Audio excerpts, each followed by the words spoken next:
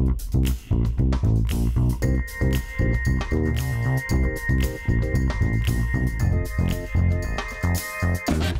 right back.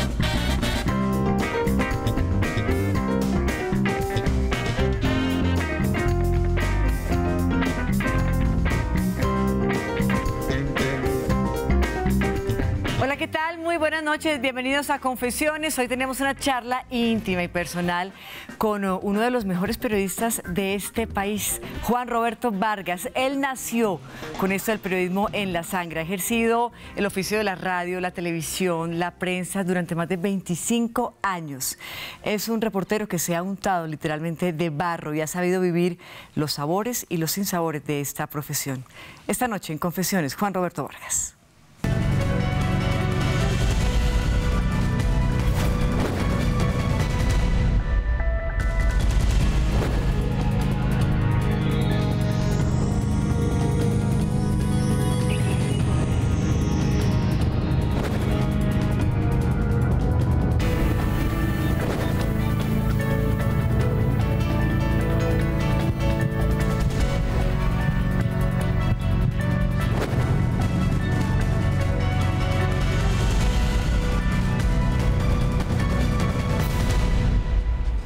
Juan Roberto, bienvenido a Confesiones. Gracias por la invitación. Qué video chévere. Ah, bueno. Eh, ¿Cuántos sacamos? Eh, no, eh, 10. ¿De 10? ¿Sí, seguro?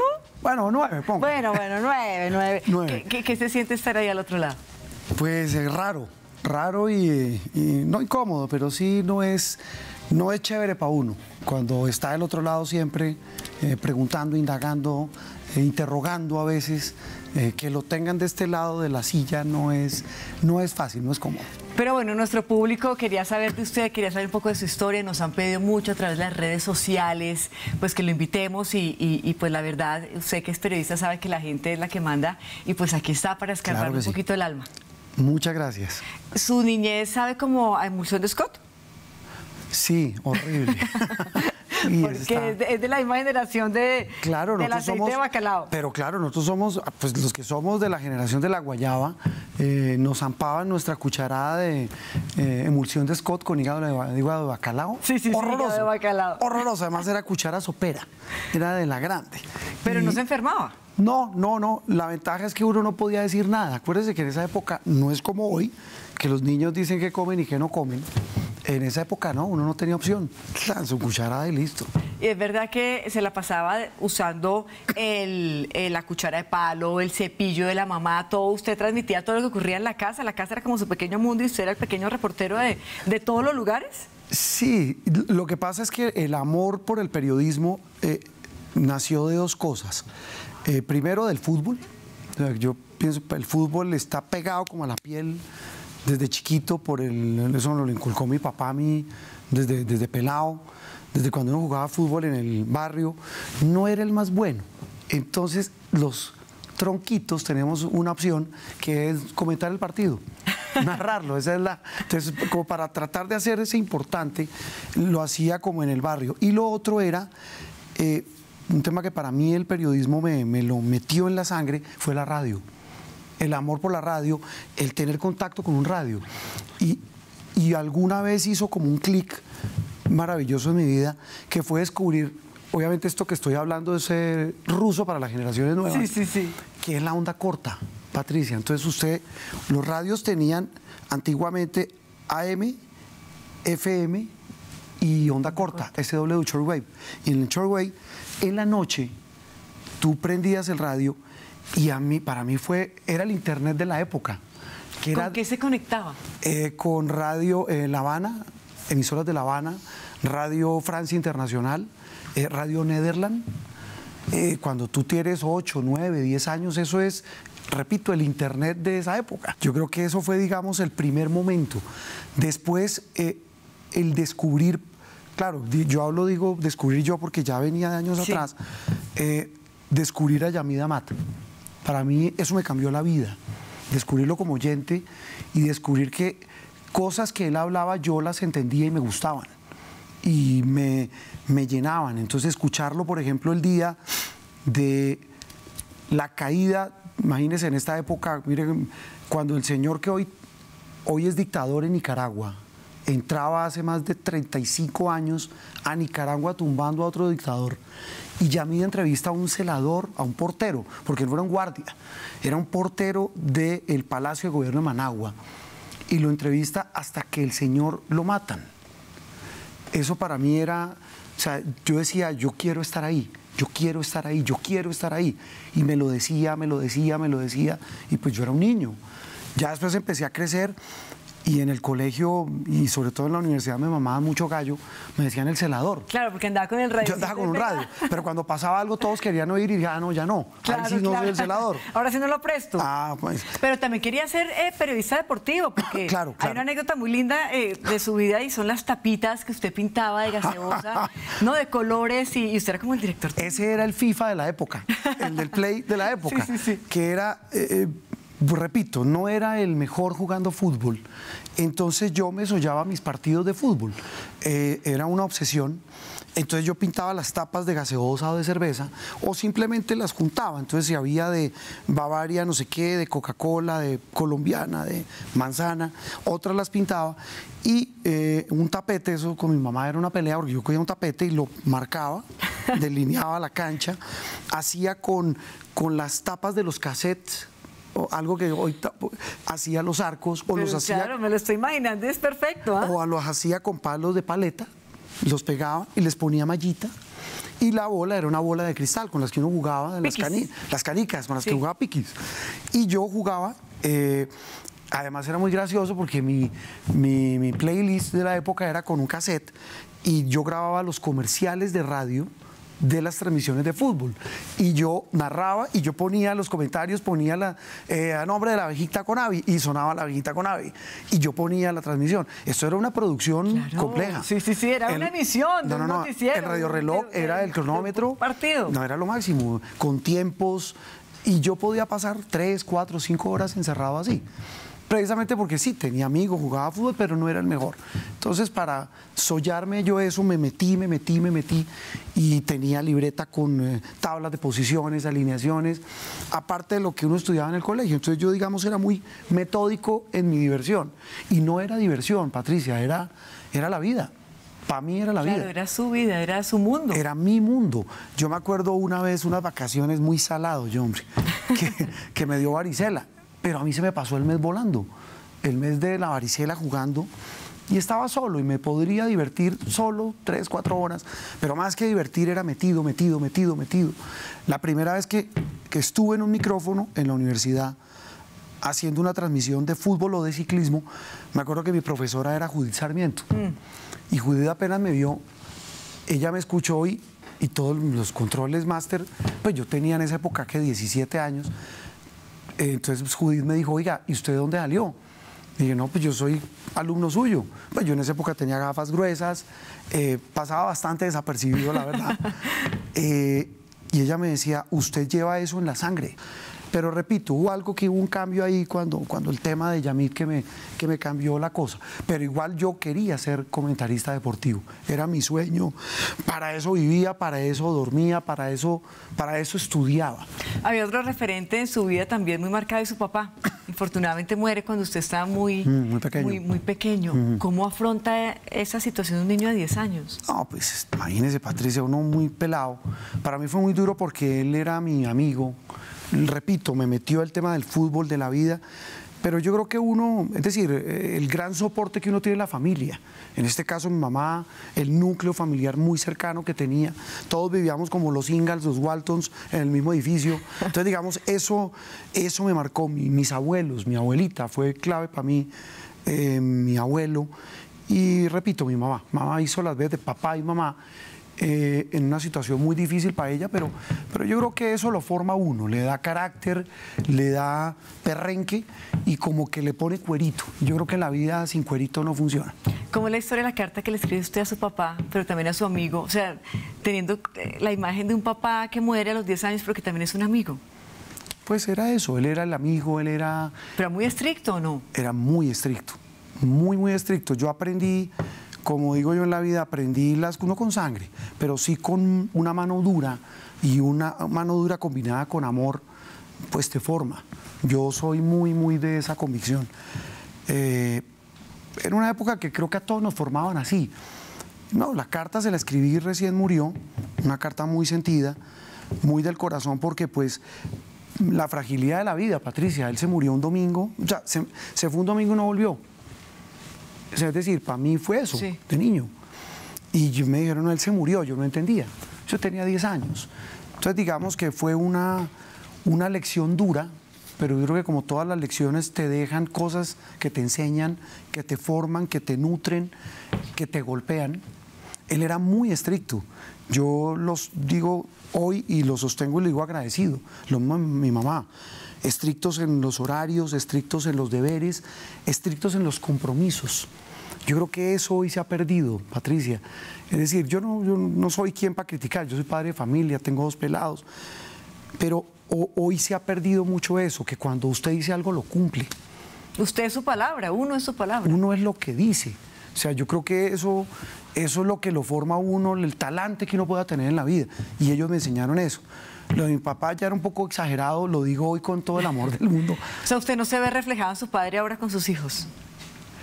Sí, yo soy muy así eh, y pues la muestra es eso, pues obviamente combinado con una, porque la crianza de los hijos es, es, una empresa entre dos y lo hemos hecho con, mi esposa durante 20 años y creo que nos ha ido bien. Nos ha ido bien no porque sean muchachos exitosos o no, sino porque son personas que tienen talante.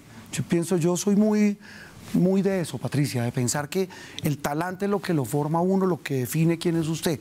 Cuando digo que mi padre era tan estricto, yo a veces le digo a mis hijos y me miran y les da como risa, ya no tanto, pero les decía, eh, las lecciones del domingo.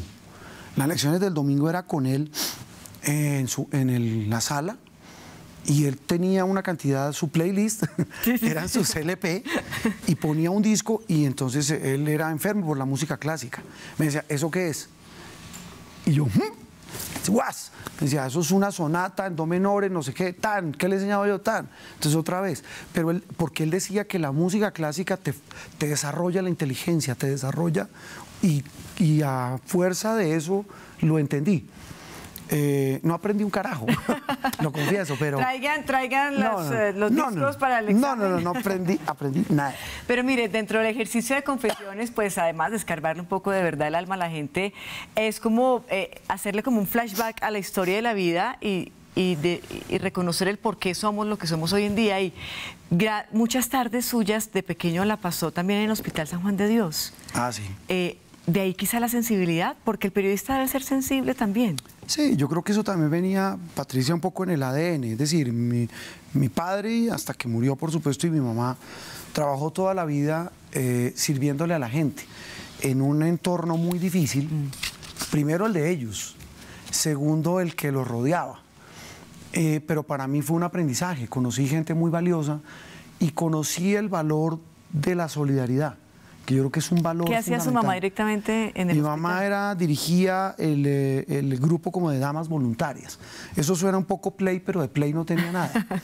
Ella era la que frenteaba eh, las cosas más dolorosas como el gente, ese hospital en esa época era como el CISBEN de hoy. Era el hospital donde llegaba la gente no solo de Bogotá, sino de muchas regiones del país a una atención médica especializada de todo tipo.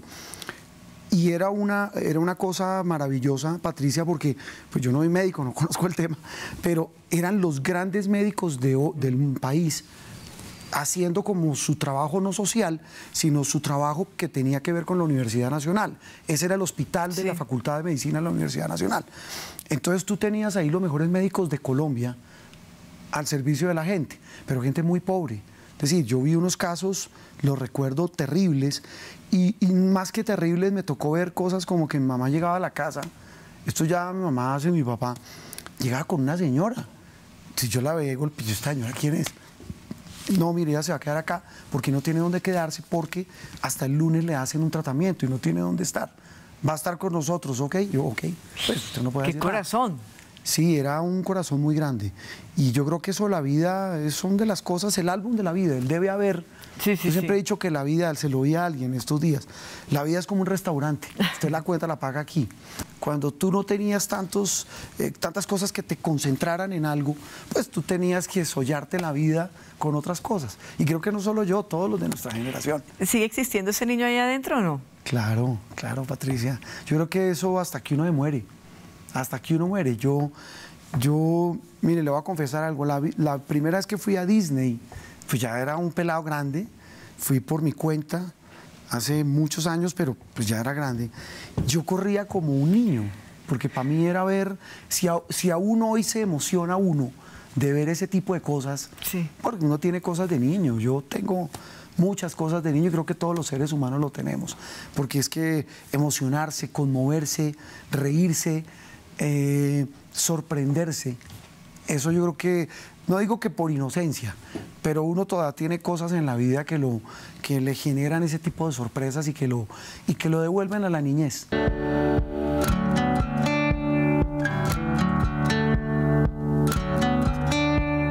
Este tiene una historia, es un- es una historia muy tierna.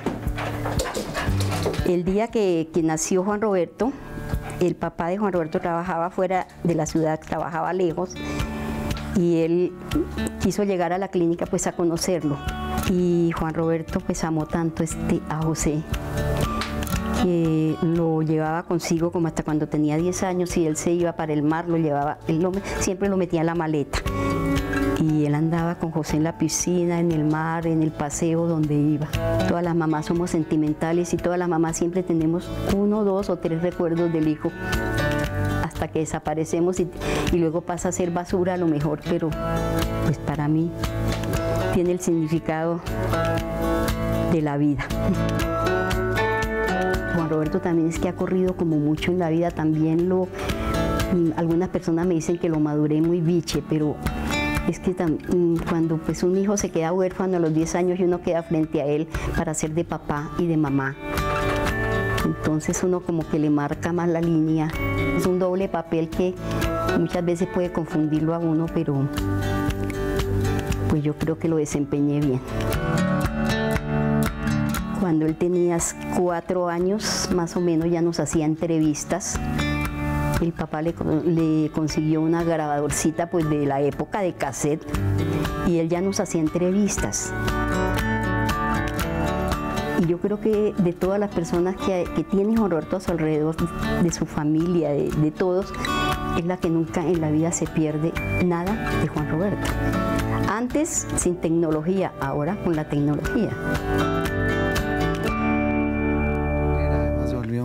Estábamos esta noche con Juan Roberto Vargas. Veíamos a su mamá que se volvió tuitera. No, ella se volvió tuitera. De No, hay que entrevistarla. No, no, no, qué oso. Pero por su, ¿por qué A oso? mí me toca, mire, a mí me toca, eh, eh, a mí me hace reír, porque entonces ella jura que nadie va a saber que es mi mamá, Cecilia Vera de Vargas. Entonces, eh, con esta polarización de este país, Patricia, eh, pues obviamente cuando tú tienes un nivel de exposición en un país tan polarizado y con temas tan políticos, eh, pues a mí me dan como a rata entre un balde.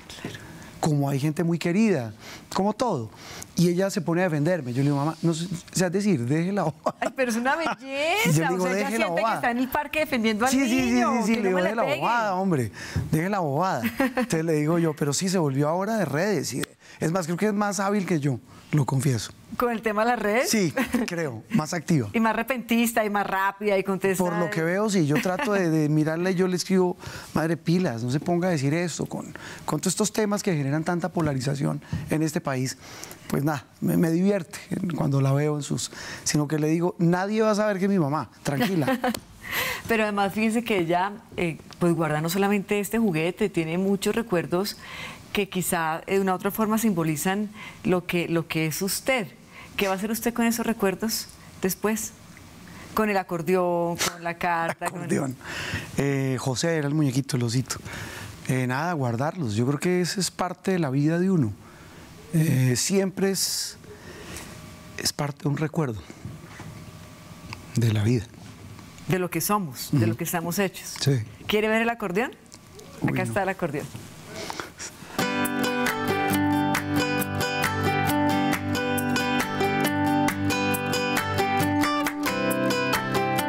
Él quería que el hijo fuera igual, que apreciara la música, y le compró acordeón. Y cuando ya Roberto murió, nosotras también lo metimos que a clase de guitarra para que aprendiera música. Y el profesor dijo que esa plática se perdió. que le daba pena, pero que no le siguiéramos pagando porque, eh, francamente, ocasión de música negado. Juan Roberto sabe que yo lo amo con el alma, que es el amor de mi vida, y a pesar de que la vida me ha dado cosas muy bellas, muy bella la vida ha sido, Dios, Dios y la vida ha sido muy generoso conmigo, pero Juan Roberto simboliza para mí como el milagro de amor de Dios y de la vida. Mm, lo amo con el alma y él sabe que en mí tiene un apoyo incondicional.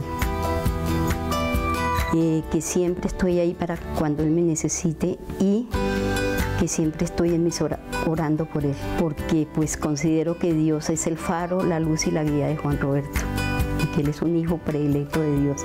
Y por eso yo me acojo a Dios todos los días de la vida y a cada minuto para que lo ayude, lo fortalezca y que aquí está su mamá hasta el día que cierre los ojitos porque yo hice un pacto con Dios que yo me voy primero que mis hijos porque yo no soy capaz de verlos ir a ellos y Dios me va a cumplir en eso.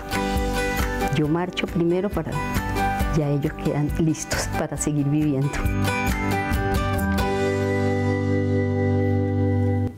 Si es que lo suyo ni las manualidades, ah, no, ni la música. Tiene más oído un ojo, le decía. No, y más rimo un aguacero. Pero con el karate le fue como bien o no. Hasta que, no, pero... Hasta que llegó, ¿quién llegó? No, ¿Quién no, llegó no cuente eso, le no, no. pegó, lo volvió a. Una peladita. me dio una muenda, eso me, una pel, nunca me voy a olvidar y decía, dije, yo no vuelvo a ponerme de kimono y no vuelvo a practicar taekwondo.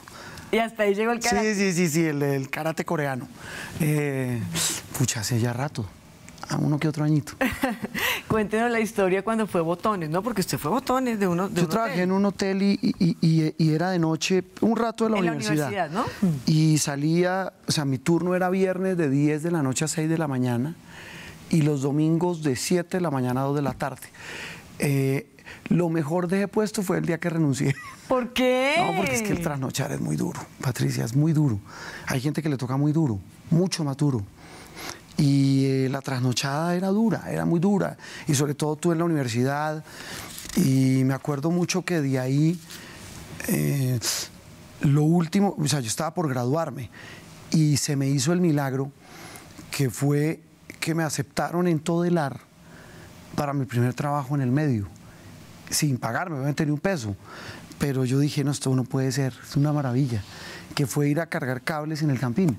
Y lo que siempre pasa en la vida, las diosidencias, que digo yo, el de eh, eso, ellos tenían un, se podrá decir, no, eso es de radio. En esa época les ponían como una cosa que se llamaba cacorro, que era como una maleta, un morral, con una antena y yo era el del cable atrás. Y el ¿Usted no era el del cacorro? No, no, no, yo era el del cable. Yo no era el cacorro, yo era el del cable. Y, y el periodista se enfermó, no llegó. Entonces en esa época Iván Mejía Álvarez era el comentarista de todo el arte y yo veía el cacorro puesto ahí y los audífonos y era tal los gritos que yo oía los gritos y decían, pero ¿quién carajos, no decía así, está en el Camerino Sur? ¿Quién está en Camerino Sur? Entonces yo, y este man no llegó el tipo que tenía que hablar, que era mucho más grande que yo. Entonces yo cogí el micrófono, lo abrí y dije, eh, máster de cabina, estoy yo aquí abajo. ¿Pero quién está abajo? Entonces yo, Vargas, ¿quién es Vargas? Le digo, no, pues el del cacorro. El practicante. El practicante, yo era el practicante, entonces me dicen, hermano, usted no puede entrevistar a los jugadores que aquí don Iván está histérico, nunca se me va a olvidar. Entonces yo dije, no, claro que yo puedo. Entonces yo cogí el coso ese, me lo puse como pude y me fui y obviamente yo conocí a todos los jugadores, entrevisté, chuchu, entonces vamos al Camerino Sur. Además fue muy chistoso porque le dijeron el nombre de Iván, Iván lo dijo mal. Entonces dijo, vamos al Camerino Sur con Juan Ramón Vargas. claro, Juan Ramón. Y este man, ¿qué? Yo, bueno, listo, hágale, va para él. Hágale, Juan Ramón. Ta, ta, ta. Entrevisté mi primera entrevista, que para mí fue, yo dije, eh, eh, jugaba Santa Fe América, nunca se me olvida el partido. Eh, entrevisté al que es hoy técnico, que se llama Julio César Falcioni. era el gran era el América, Sí, el gran gran- equipo sí. de los Rodríguez Orejuela, perdón lo digo, y Millonarios era de Gacha, era, eh, pero tenía las grandes luminarias del fútbol mundial. Era Gareca, Falcioni, Bataglia, eh, el Pitufo de Ávila, era un equipazo. Yo los veía, yo era como era el Real Madrid. Entonces yo voy y entrevisto a Falcioni, el tipo se estaba cambiando ya para arrancar el partido, la América perdió ese día 2-0. Entonces cuando acabó, acabó eh, Iván me hizo subir. Entonces yo subí y dije, me van a poner el cacorro en la cabeza. Sí, sí, sí, me va a vaciar. Me dijo, ¿y usted de dónde salió chino? Ah, porque él dijo, ¿quién es el, quién es Vargas? Entonces yo entré, yo tenía gafas, yo era de gafas de, Sí. de culo de botella. y entré y le dije, soy yo, don Iván. Entonces me dijo, nunca se me va a olvidar, a alguna, creo que ahora en el Mundial de, de Brasil nos acordamos y nos reímos, porque él dijo, eh, yo no sé a quién va, dijo, ¿y quién dijo que niños de colegio podían trabajar conmigo? Le dije, no, no, don Iván, yo estoy en noveno semestre. Digo, ¿pero cuántos años tiene? Le dije, yo tengo 18, va a cumplir 19. Eh, Se graduó de 15. Claro, me dijo, escucha, eh, baje de nuevo. Entonces me cambió a- al Camerino Norte, que era el del eh, equipo local. Sí, sí, sí. Entonces ya era ver a los de Millonarios. El que no llegó ese día no volvió, lo pasaron al otro camerino. y nada, estuve ahí con él y, y ese fue mi despegue. Y yo juré que iba a estar en el periodismo deportivo. Pero hubo otra diosidencia, como usted la llama, y fue el día en que eh, pasó algo en Soacha. Yo estaba sentado en la redacción y no había nadie, una diosidencia. Entonces, incluso me acuerdo que en la redacción de Todo el Ar estaba puesto Caracol Radio. Y entra un extra, entra, creo que, no sé si era Yamid. No, no era Yamid, era Carlos Ruiz. Carlos Ruiz dice, mucha atención, un avión de Avianca que salió de Bogotá rumbo a Cali, algo pasó porque parece que hay una humareda llegando a Soacha. Entonces sale en esa época a una ventana Edgar Artunduaga, director de Todelar Noticias en esa época, y me dice, ¿quién está, quién está aquí? ¿Quién se va? Lo que pasa en todas las redacciones. Sí, sí, sí. ¿Quién se va? Y, y me ve parqueado y me dice, hermano, váyase para Suacha en una móvil. Yo no sabía, a mí el corazón me latía a millón y llegamos a una loma. Entonces ya nos bajamos con una cacorro. Sí, sí, sí. Eh, el señor de la móvil me dijo, hermano, no, yo tiro cable aquí, en esa época en radio era con cable, mire a ver hasta dónde llega. Cuando yo, yo, le digo, yo con mis gafas y yo miraba y yo empiezo a ver señores de bomberos, de defensa civil, gente corriendo en dos montañas. Y yo solo veía pedazos de papel, como cosas que se movían por el viento. Y yo voy llegando, Patricia, eran cuerpos, eran cuerpos botados. El olor, entonces el olor me quedó acá. Cuando yo llego esa noche a la casa me toca botar la ropa. El olor lo tenía en el cuerpo. Pero el impacto para mí fue doble, Patricia. Y ese fue el clic. Ahí yo dije, lo mío es otra cosa. Cuando yo veo eso, al comienzo me iba dando como la pálida. eh, voy a confesarte algo. Yo me vomité. Yo lo primero que hice fue trasbocar porque era terrible. Sea, era dantesco. Pero a la vez era como si algo en la sangre me hubiera corrido. Y, y claro, entonces ya empieza Artunduaga, ¿quién es? Ya llegó a- al sitio. Yo, pues, claro, entonces llegué yo. Al lado mío tenía un maestro que era Guillermo Franco Fonseca de, de Caracol Radio. Y él llegó Guillermo Rodríguez de Caracol Radio, Sí. a los que yo oía. Entonces yo me empiezo a emocionar y yo empiezo a hacer mi transmisión. Mi transmisión solo, solo. Fueron casi seis horas en la loma, hasta que bajaron el último de los restos de cuerpos, rodearon todo. Eh, vi una escena dolorosísima que fue señores robando cuerpos, robando, Sí, saqueando los anillos, cuerpos, eh, anillos. relojes. Pero, pero ahí me cambió. Entonces llegué esa noche, eh, me estaba esperando. Dijo, hermano, queda contratado, pero no para deportes, sino para noticias generales. ¿Usted quiere? Le dije, claro que sí, esto es lo que me gusta. Y eso cambió. Después ya vinieron, además me tocó aprender con sangre, porque acuérdate, Patricia, que ahí vienen otra cantidad de hechos dolorosos, bombas en Bogotá, y fue doloroso y era muy duro. Ya entonces empiezas tú no a endurecerte te- la piel y el corazón, pero sí como a ser más fuerte de sobre todo contar las cosas y quién las hizo. Entonces en esa época era el miserable de Pablo Escobar, que es tal vez la peor basura que ha habido sobre este, sobre este planeta, o sea, porque no tiene otro nombre. Eh, ver un señor que deja su carro con su hija de 8 años y detrás estos miserables ponen el carro bomba en el centro 93 y del bombazo el carro del señor sale al otro lado y el señor sale en medio de todo y dice, ¿dónde está el carro con la niña? Y yo me le pegué a esa historia y yo me voy detrás de él, detrás de él, detrás de él, detrás de él. Yo ya estaba en CMI en esa época. Entonces con el camarógrafo, con Jairo Jiménez, le dije, Jairo, detrás del van, nos vamos, nos vamos, nos vamos. Y el señor empieza a buscar y dice, pero yo dije, mi niña, el carro aparece al otro lado, pero aparece la mitad como si lo hubieran cogido y lo hubieran con un cuchillo quitado y, y quedó convertible. Sí. Sin la niña. Y la niña quedó a unos 50 metros, pero solo la mitad del cuerpo. Y ver un papá derrumbado, eso a mí me jodió. Me, me dolió el corazón. Tengo esa imagen acá. Y entendí que, que el oficio es muy duro, Patricia. Entendí que, que el dolor de la gente no puede ser noticia. Mm, Fue madurar, biche. Madurar, biche. Yo tenía 21 años. Me dolió el corazón. Tal vez de las escenas más duras de mi vida. Es más, no pude hacer la historia. No pude. Yo me senté con el Señor en un andén, le traímos agua, el Señor no entendía. Y así fueron historias. Yo decía, este país no puede ser, no puede ser un país desangrándose, matándose por culpa de unos miserables. Y nada, después yo ir a la entrega de ese tipo, yo verlo entregándose, yo decía, como si nada. Después cuando se fuga, después cuando lo matan, me tocó la fuga, la entrega y la muerte. Y ahí empecé a entender este país y empecé a entender que la función de un periodista es contar las cosas, Patricia. Así no le gusten a muchos. Y eso me ha costado amenazas.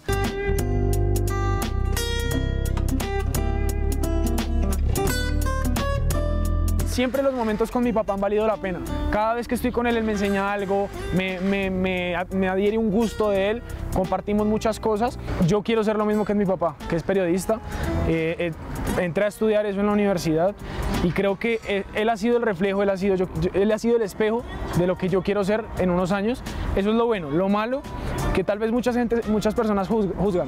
Entonces cuando las personas se enteran de quién es él, eh, entran a, hacer juicios de valor sin conocerme y muy probablemente digan cosas que no son o que yo no soy, eh, pensando en que yo sí me creo algo o yo pienso algo porque soy hijo de él y no es así. Yo lo tengo claro que yo hasta que yo no gane un nombre voy a ser el hijo de y no voy a ser Juan Camilo Vargas. Las amenazas han afectado el círculo familiar o cómo se ha manejado eso, la verdad. En la familia nunca se toca ese tema. En la familia siempre tra- tratamos de aislarlo lo que más se pueda, pero desde chiquito yo he vivido con escoltas. Desde que soy chiquito, desde que tengo uso de razón, sé lo que es tener una camioneta de escoltas al lado y la verdad ya se vuelve costumbre, ya se vuelve algo tuyo, parte de la familia prácticamente, tener una persona que te lleva y te trae y que te protege. Y ya no, nosotros somos creyentes, cada vez que se sale de la casa, pedir que mi papá esté bien y que todos estemos bien, pues porque si nos van a hacer algo, nos van a hacer algo a todos. Esto es bastante conmovedor y es que siempre, desde que yo le dije que yo quería ser periodista, yo le dije esto de que hablamos de que yo no quería vivir a la sombra de él. Y él siempre me dice, usted va a ser mejor que yo. Pero pues yo nunca se lo he dicho. Y lo que yo pienso es, o sea, lo que tú no sabes es que no hay nadie mejor que tú. Eso es lo que yo le diría a mi papá, que nunca va a haber nadie mejor que él, ni siquiera yo. ¿Qué tal esta belleza de hijo, ah? No, el hombre es un crack, es un crack. Eh, pero lo último que dice es mentira, él va a ser mejor. en lo que sea, yo digo que nosotros con, con Amanda los hemos educado a Juan Camilo y a María José, sobre todo ser las mejores personas. Yo pienso que sea la profesión que sea. Eh, una, tal vez algo que él no contó, yo no quería que él fuera periodista, pero pues eso es muy difícil, ¿Por qué? Patricia. No sé, sobre todo en una sociedad como la actual, Patricia, es muy difícil, es muy duro. Él algo lo decía, eh, yo no me la doy de víctima, ni, ni soy caperucita, ni soy blandito. Pero, pero cada vez la sociedad es más intolerante, Patricia. Ya cuando estábamos con, eh, con Yamid en CMI, eh, ahí tuvimos tal vez la primera como aproximación a temas de amenazas, en plena época la persecución al cartel de, Mede- de Cali. Después de que matan a Escobar, eh, a mí me mandan a, a Cali. Chepe Santa Cruz tenía 300 camisas iguales en, una, en un closet. Entonces Sí. yo llego al closet, está todo el bloque de búsqueda entrando, yo entro con mi cámara y veo un VHS en el cuarto del tipo. Claro, el tipo acaba de, se ha fugado. Entonces prendo y veo una fiesta. Yo digo, esto, una niña, era como una fiesta. Y yo, mierda, mire a Gilberto, a Miguel Rodríguez. mire a fulano. Yo siempre he tenido una fascinación por el tema de la mafia. O sea, el tema y mm, la película para mí de mi vida es El Padrino, Sí. la primera. Sí. Entonces yo, yo amo el tema, a mí el tema me, me Entonces yo empiezo, yo, no, yo me tengo que robar este cassette. Yo cojo el cassette, me lo guardo, boom, ya, eh, llamo a Yamit desde el hotel y digo, Yamit, tengo una bomba, tengo una fiesta, tal vez es la hija y el hijo de Chepe Santa Cruz Londoño, uno de los grandes capos del que, que creo que volvió hace poco, Sí. de Estados Unidos. Mando el material y Yamid abre con eso. Entonces, cumbre de la mafia en un cumpleaños. Entonces eran todos. Más se demoró en salir la nota que en llamarme al teléfono del hotel. Ni siquiera, pues en esa época no había celular, sino... Pero eh, lo beeper. tenían pisteado. Me llama y dice, oiga, lo está buscando aquí un señor en la recepción. Yo ya sabía para qué era. Yo bajé con el cassette, con el beta, con el VHS. Yo dije, "Yo- es para eso. Entonces yo bajé y estaba un señor en efecto con una maleta y una... Me dice, ¿cómo le va, joven? Me dice, uy, pues usted es un muchachito. Me dice, así tan joven se va a morir. Me dice, hermano, no sea bobo. ¿Y usted el No corazón? me dijo, no, yo, pues yo, a mí eso sabe que eso no, no, no de macho, sino que uno la sangre le hierve. Yo le dije, hombre, eh, pues si usted lo dice, me dice, no, lo digo yo, no, lo dice mi patrón. Hermano, tiene, son las 10 de la noche, eh, tiene dos opciones, hermano, las dos, el cassette, yo le entregué, tan. la segunda se va allá. O sea, yo le, le- le- le garantizo la vida una hora, más no. Yo subí y le dije al camarógrafo, hermano, nos vamos. Y salimos. El tipo me acompañó hasta el aeropuerto, no había vuelos. Me dijo, hermano, váyase en flota, salga de Cali. Y me quedan 15 minutos. No, lo van a quebrar. Tal vez fue la primera como amenaza, pero después, todas. eh. Después hubo otra de una.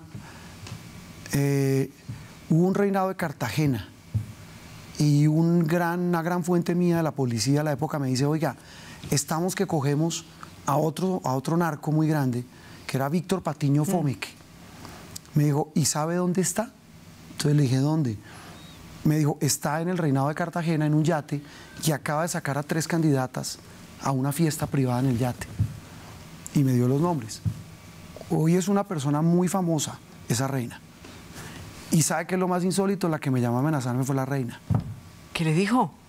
que donde yo contara que era ella, Micho, no me alcanzaban las vidas para ella volverme a hacer matar.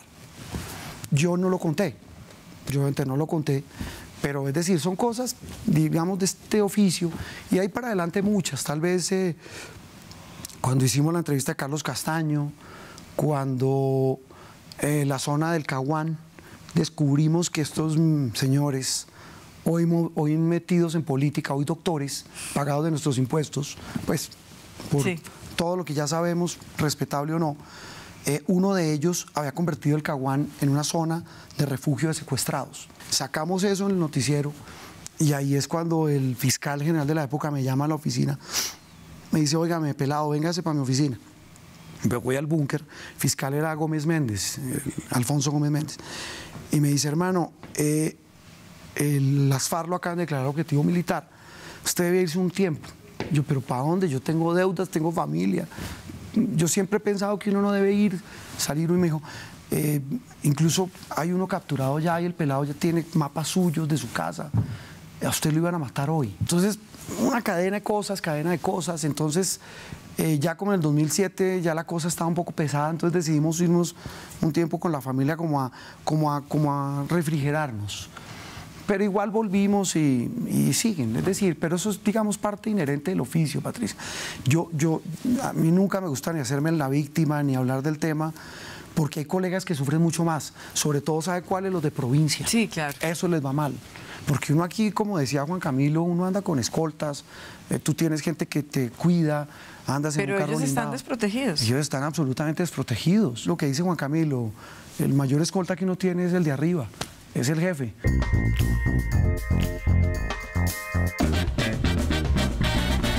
Juan Roberto Vargas, esta noche su confesión, su historia, su vida, todo lo que se teje detrás del ejercicio de un gran periodista de este país, a quien les dice cachifos. A todo el mundo. ¿Por qué cachifo? Eso era frase de mi abuelito de chiquito.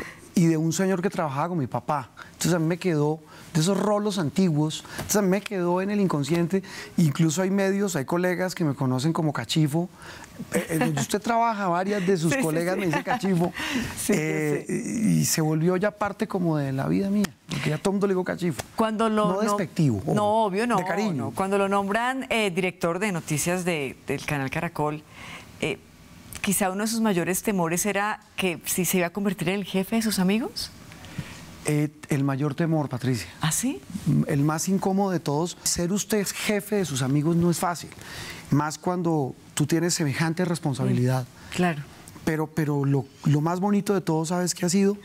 Patricia, ha sido eh, ver esa mística de esos amigos míos, de entender eso. Siente hoy en día, haciéndole como el flashback a la vida, que se ha perdido en momentos familiares, quizá Claro, por, por el claro, trabajo. por supuesto. Uno que le haya pesado mucho.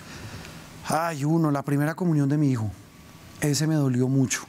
Eh, y con esos muchos, piñatas, eh, ¿Pero por qué? Porque trabajo, hubo, trabajo. algo claro, importante no, que me ir a tocaba, hacer. Claro, me tocaba viajar. eh, y no podía, pues ni posponer el viaje ni posponer la primera comunión. Eh, en fin, entonces tú no mides cuándo vuelves, cuándo vas. Entonces digamos que eso es duro, duro, perderse cosas de la familia es duro, pero ellos lo han entendido. Ahí hay una heroína que es Amanda, Ah, no. sin lugar a dudas. Si no, usted, eh, que es bien cinematográfico también, si pudiera escribir una historia sobre ella, ¿cómo la titularía? La socia, yo le pondría la socia, una socia incondicional de la vida, de todo en los momentos muy duros, difíciles, en crisis, crisis como creo que tienen todas las parejas, crisis de plata, crisis de ausencias, crisis de todo, pero hemos, yo creo que pasado pruebas ácidas, yo creo que esa es la mejor definición y cuando tú pasas pruebas ácidas, eh, reafirmas que quien está con uno es quien debe estar. Y ella lo ha pagado con creces. Otra diosidencia. Diosidencia. Haberse encontrado. ¿En qué Dios cree usted? En eh, el Dios de la vida, en el Dios de la misericordia, en el Dios de la bondad. ¿Y el gran pecado suyo? Pues tengo muchos, no voy a contar aquí, como todos los seres humanos. Uno. La impaciencia, Patricia. Soy muy impaciente y, y eso me ha costado lágrimas de sangre, porque soy muy impaciente. Eh, alguien me decía el otro día, algún periodista, me decía, mire, creo que ya pasé la prueba porque ya le cogí el tiro, el tren. Cogerme a mí el tren es no porque sea excelente, sino porque soy impaciente, soy histérico, soy muy, eh, quiero todo ya, pues como todo en este oficio, Sí. Patricia. Yo creo que ese es, ese es gran- la- el gran común denominador de casi todos nosotros en este oficio. Y a veces es mi gran pecado, pero también se vuelve una virtud, porque el que duda pierde. Si tú te quedas quieto, te mueres. Yo pienso también eso y todos los días de la vida se lo inculco a mis hijos. Eh, a Juan Camilo, que está en este oficio, le digo, hermano, el que da la milla extra es el que le va bien.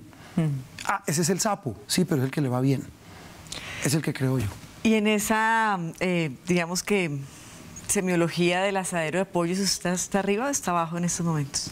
No, evidentemente, Patricia, estoy arriba. Yo ahorita estoy pasando por el, por el mejor momento de mi carrera.